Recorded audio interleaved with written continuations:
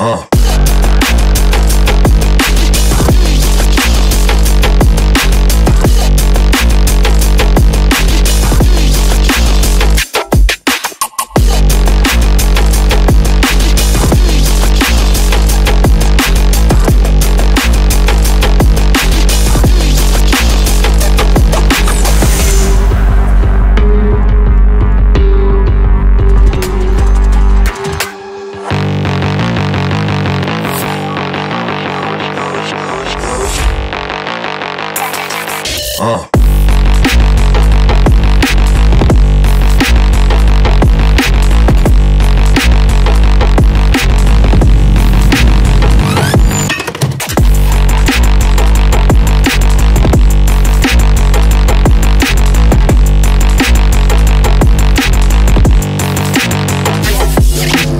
Oke, jadi pada hari Sabtu ini tadi saya sudah menyelesaikan uh, kualifikasi kelas uh, ITCR Max 1600 dan saya harus puas berada di posisi kedua. Nah, jadi untuk besok saya akan start dari posisi kedua. Sebenarnya pada saat latihan kita kemarin sudah bagus dan tadi juga performanya sudah maksimal.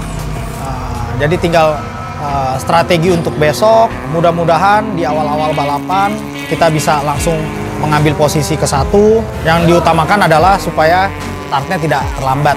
Jadi ya insya Allah besok nggak ada kendala, hasil uh, startnya bagus dan mudah-mudahan akan mendapatkan uh, hasil maksimal.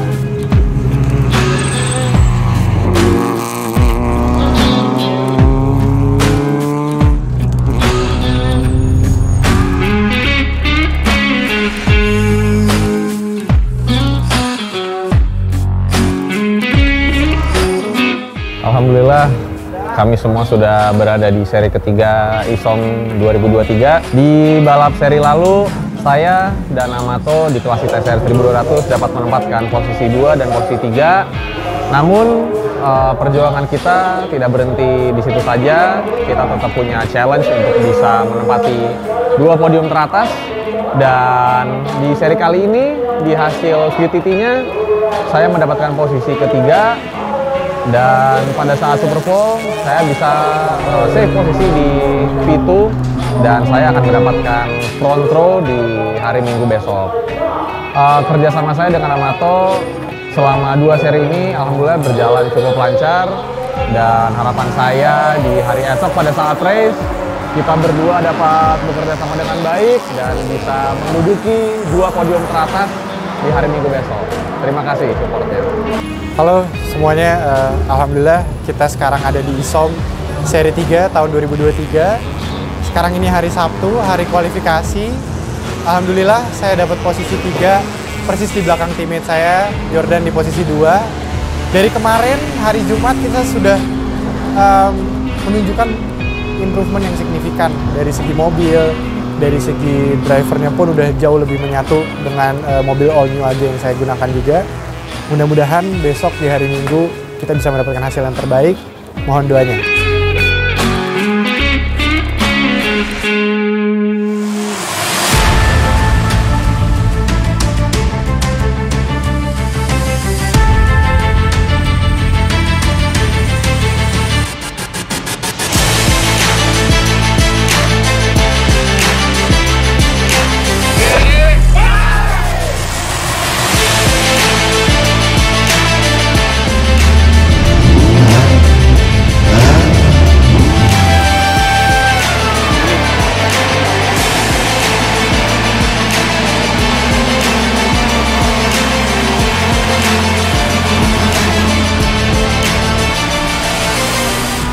Ya, hari Minggu ini kita uh, menyelesaikan balapan ITCR Max 1600 dan pada balap kali ini putaran ketiga ISOM saya harus puas berada di posisi ketiga.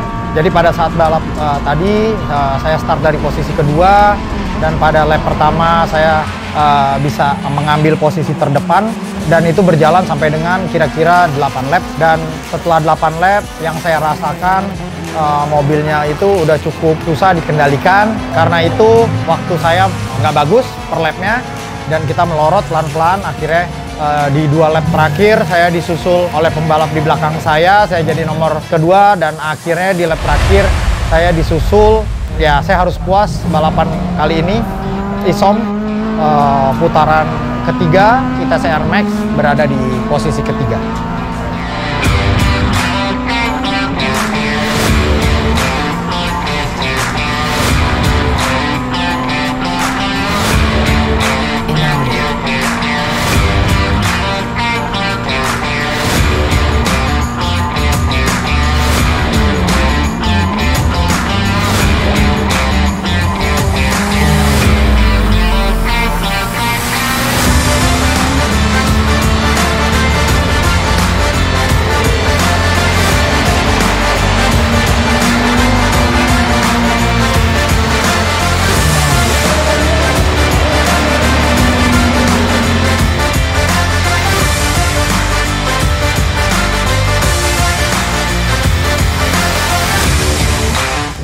Alhamdulillah kita sudah berada di penghujung dari seri ketiga ISOM 2023.